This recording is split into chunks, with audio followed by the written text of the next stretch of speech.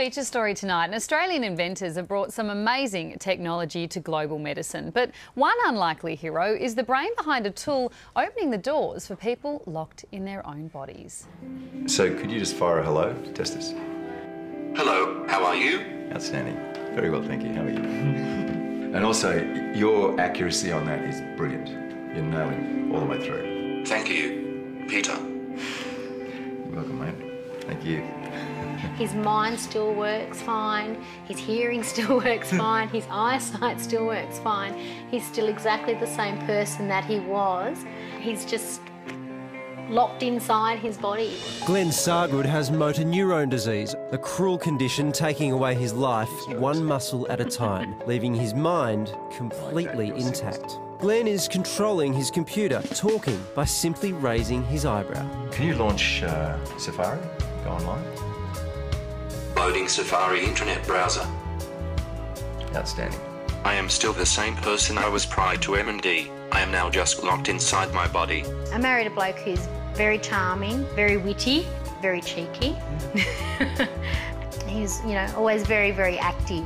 Glenn would come home from work and Tom would almost greet him at the car door with a football in his hands. Pretty active. Yeah, Like, very active. Like fun and active. Fun and active. He used to come home from work every day and we'd go out and play like soccer or just pass the football around or jump on the trampoline. Or like do muck up wrestling and stuff like that. It's kind of something that Dad's never going to get better from, but Dad's fighting it, I know that. The way he deals with every day just amazes me. He's um very special and very strong and amazing.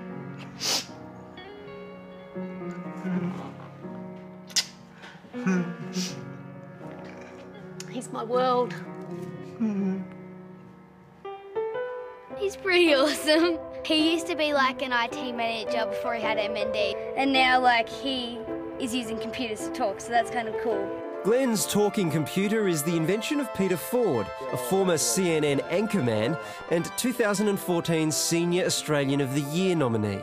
A closet computer nerd, Peter left his lucrative job to pursue his dream, giving communication back to the voiceless.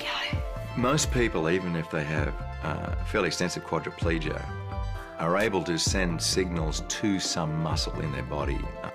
And we can put sensors on those muscles and tap them like an old-fashioned phone tap and pick up that signal. We then get the NeuroSwitch software to analyze that signal very quickly, 20 times, 40 times a second, and turn that into a control that lets you choose letters on the screen. Inspired by early success, it took Peter years of hard graft and willing patience to perfect his software. You did it! You made it! It was a long and arduous journey, a far cry from the glamour of television. I never regretted leaving television. I never regretted making that choice. It was a mission that I just couldn't walk away from. It's not just that verbal face to face communication, it's all those other aspects of communication. He can go into iTunes and download music, download TV shows, download movies. And speak to the most important people in his life his three kids. What do you think about that? Awesome. Oh, that's cool. It's really important to like talk to Dad because if he didn't like have the NeuroSwitch, then he probably like couldn't talk to us. Communicating with my kids means more than words. I was locked out from so many things I had previously taken for granted. This has given me back independence and freedom. And from anywhere on the planet, Peter can log into Glenn's computer and add more applications, more tools to connect him with the I also world. want to start putting together um, longer set phrases for you so that you can launch those with just one button at a time. When I started the company, I made a, a promise to myself that if somebody asked for help anywhere on the planet, I would go there. And we've been to some pretty remote places at the farthest ends of the planet to do this.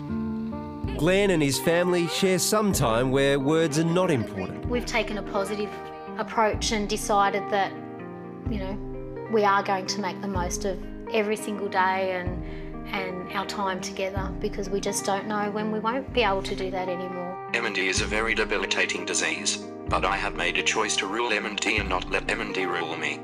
And thanks to Peter Ford and his NeuroSwitch, Glenn can do exactly that.